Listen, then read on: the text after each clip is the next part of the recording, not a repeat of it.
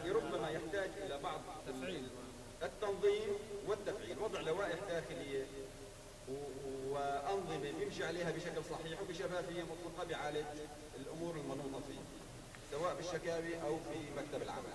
بسم الله الرحمن الرحيم. نحن أبناء الأتارب. قمنا بإطلاق مبادرة أبناء أتارب الغد.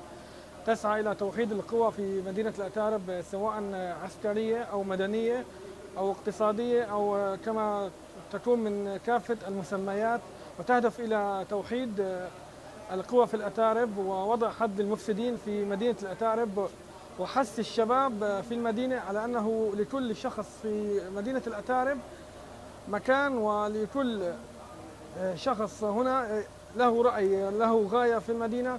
بإذن الله سوف نقوم بتنفيذها هنا سواء على صعيد عسكري أو على الصعيد المدني.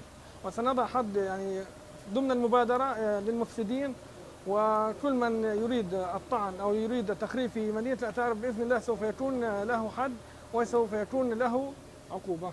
نصرة المظلوم لأهالي مدينة الأتارب يكون منفصل عن المجلس. يعني إذا تعرض شخص للظلم من قبل المجلس ما فينه هو يرد الظلم يعني ما فينه يشتكي عليهم نفسهم يعني. يكون منفصل فقط عمل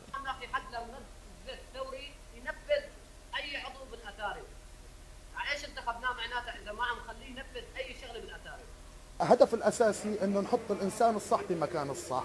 يعني المثقف بمكانه المحامي بمكانه الدكتور بمكانه. ما نجي نحط الشاب اليوم لأنه طلع ببداية الثورة طلع معنا ببداية الثورة وشال باروده وقاتل. نحطه بدل دكتور أو بدل محامي أو بدل مهندس. فهي الهدف الأساسي هذا